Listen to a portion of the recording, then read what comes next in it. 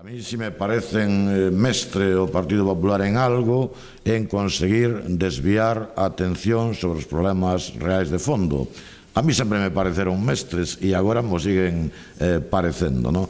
E eu xa sei que eh, mm, en fin, en este en este en este tipo de plantexamentos que parecen, en fin, moi decididos eh, a corregir os problemas, en este caso a dar unha especie de visión á xente de que están dispostos, verdad, pois a non sei como decilo, a meter en cintura a, a fin, os políticos, entre comillas, que non usen ben os fondos públicos e, polo tanto, dende a dificultade, eu sei que, eh, que significa poder eh, contrarrestar esta opinión, a verdade é que non deixa eh, de ser eh, chamativo, non? É dicir, a proposta do señor eh, Montoro. Non somente por eso que xa se ten comentado que, bueno, o Código Penal efectivamente habería que reformalo, non? Para poder actuar, non? Pero a mí me parece que ten moito de demagoxia, moito de propaganda e moito de tufo antipolítico, ¿no? de seguir insistindo no tufo antipolítico. ¿no? Ben, e sobre todo tamén consigue evitar debater sobre a política de fondo do Partido Popular equivocada, eh, fracasada, en esencia o señor Rajoy non deixa de ser máis Zapatero, máis Merkel, máis Botín. ¿no? Claro, en ese contexto estaría ben saber, e a todos nos interesaría saber, si o señor Montoro e o Partido Popular pensa aplicar o mesmo criterio, polo tanto, o Código Penal a aqueles xestores privados que, como consecuencia da súa xestión, acaba sendo necesario pois eh, utilizar cartos públicos, eu que sei, pois para sanear tal ou cual empresa ou tal ou cual banco, non?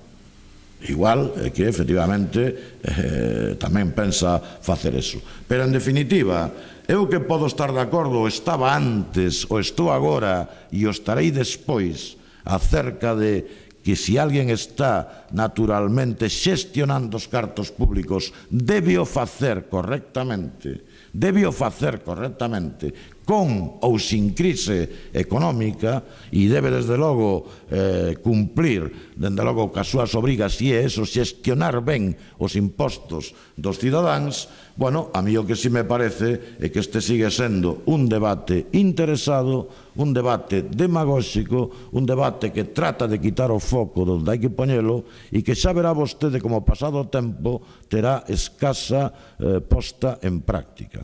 Dende logo, estamos asistindo nos últimos anos e é solamente a punta do iceberg as xestións de responsables públicos absolutamente tremendas desde o punto de vista da utilización dos recursos, dos recursos públicos, e eu estou esperando aínda que eso teña consecuencias xudiciais e penais en consonancia co despilfarro que algunha xente, en fin, desde o punto de vista público e tamén privado, fixo desos cartos.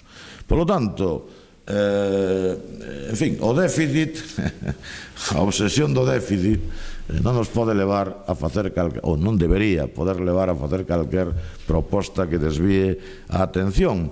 Pero bueno, eh, pasará o tempo e verá vostede como menos lobos, non?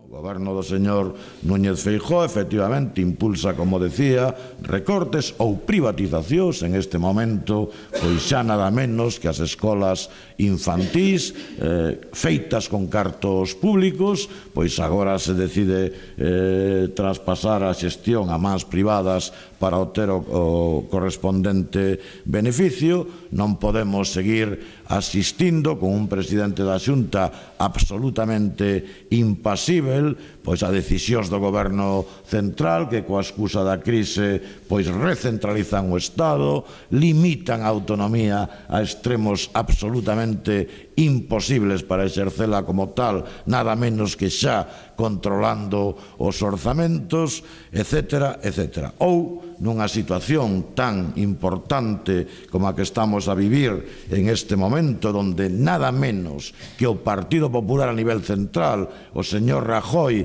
o señor de Guindos, falan claramente de acabar a reestruturación que les chaman do mapa financiero. E, polo tanto, en definitiva, apoyar procesos de fusión bancaria e de absorción, por exemplo, do que na Galiza pode ser a entidade resultante das caixas eh, de aforros, pois o señor Núñez Feijó non se pronuncie.